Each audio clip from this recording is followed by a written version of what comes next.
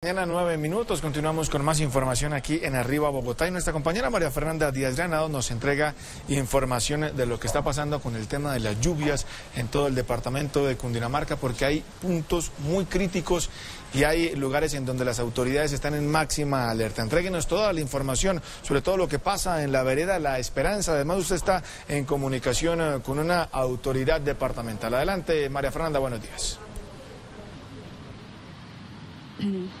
Aníbal, muy buenos días para usted y para todos los televidentes. Así es, pues continúa esta segunda temporada de masas lluvias en el territorio nacional, pero por supuesto también en Cundinamarca, un departamento que se ha visto bastante afectado por cuenta de las emergencias.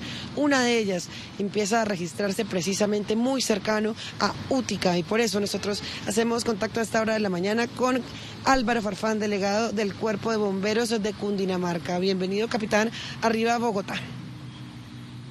Muy buenos días para usted y para todos los televidentes. Capitán, cuéntenos qué es lo que está pasando en este momento en este sector del departamento de Cundinamarca. Bueno, debido a las fuertes precipitaciones que se han centrado principalmente en el sector de Gualibá, eh, tenemos en este momento un movimiento en masa en el municipio de Quebrada Negra, exactamente Vereda La Esperanza, lo cual ha generado algunos deslizamientos que ha producido pues eh, represamiento de la quebrada negra, por ello pues de manera articulada con la unidad departamental de gestión de riesgo, la unidad municipal también y la administración se vienen realizando algunas tareas importantes. Ayer movilizamos 30 eh, um, soldados del batallón de desastres, los cuales también van a realizar unas labores muy importantes en coordinación con el cuerpo de bomberos de esta zona eh, lo cual pues va a mitigar de alguna manera el riesgo que tenemos en este sector, dado que si se siguen presentando estas fuertes precipitaciones vamos a tener riesgo principalmente hacia las personas aledañas al municipio de Bútica. Precisamente, capitán, recordemos que hace un tiempo, exactamente en el 2011, una emergencia eh, pues es similar a la que podría presentarse en caso de que este deslizamiento y esta remoción de masa continúe, pues se registró en Útica. Sí, infortunadamente, pues aunque se realizaron varios trabajos en coordinación con la CAR, con la Unidad Departamental de Gestión de Riesgo, con la Gobernación de Cundinamarca, eh, estos movimientos en masa han generado pues, que tengamos nuevamente represamientos, sin embargo continuamos en un monitoreo constante, se han realizado también algunas estrategias para poder emitir algunas alertas tempranas. En trabajo articulado tanto con la Administración Municipal del municipio de Quebrada Negra y Útica.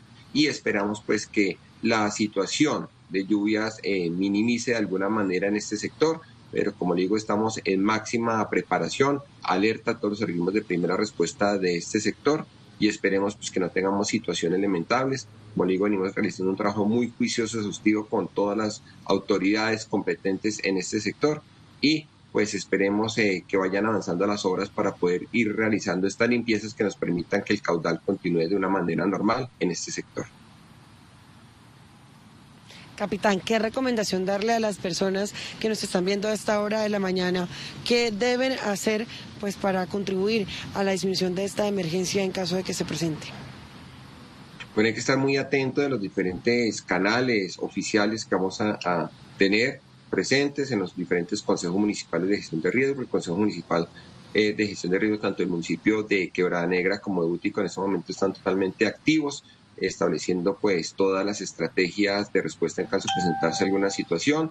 Eh, los organismos de socorro pues seguimos en monitoreo constante con la utilización de algunos equipos especializados. Asimismo, la unidad departamental de gestión de riesgo también eh, ha dejado allí a disposición unos profesionales eh, en tema de geología, e ingenieros que nos van a permitir también algunos trabajos muy exhaustivos y como le dije pues el día de ayer movilizamos un batallón eh, de desastres eh, con un componente de 30 personas, los cuales nos van a ayudar también a hacer unos trabajos de limpieza para poder evitar que pues, este represamiento continúe en este sector.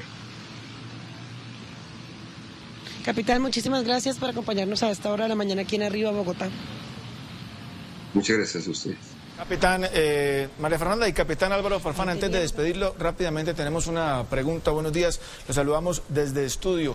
¿Tiene algún reporte del accidente que se registró esta madrugada cerca del peaje Chusacá? Eh, la información preliminar habla de 13 personas fallecidas, un accidente entre una tractomula y varios automóviles particulares. ¿Tiene algún reporte?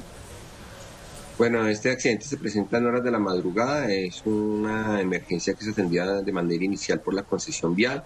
Eh, se viene pues en este momento realizando un proceso ya con la policía criminalística, los cuales vienen realizando pues ya la identificación y levantamiento de los cuerpos y los cuales van a establecer pues las causas del siniestro. Una vez ya tengamos una información un poco más completa, daremos esta información directamente pues eh, a todos los medios de comunicación y continuamos muy atentos con los diferentes organismos de socorro en este sector. Es un sector pues que infortunadamente eh, es bien complejo, precisamente donde constantemente se presentan este tipo de emergencias y donde pues de manera articulada entre la concesión vial y los diferentes organismos de socorro de esta zona pues hacemos respuesta a los diferentes llamados cuando se presentan pues este tipo de situaciones.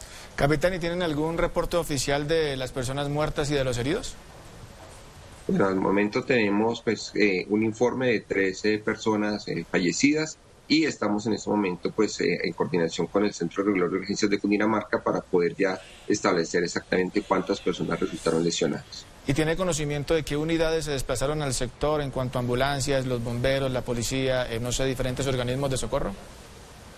Eh, como le dije inicialmente, eh, la concesión vial es la que tiene la responsabilidad inicial de la atención de esta emergencia. Una vez pues ellos superen la capacidad operativa, se hace la movilización de los diferentes organismos de socorro, como son los bomberos, tanto del municipio de Soacha, municipio también de Granada y Silvania en caso de ser necesario. Al momento se encuentran ellos en alistamiento.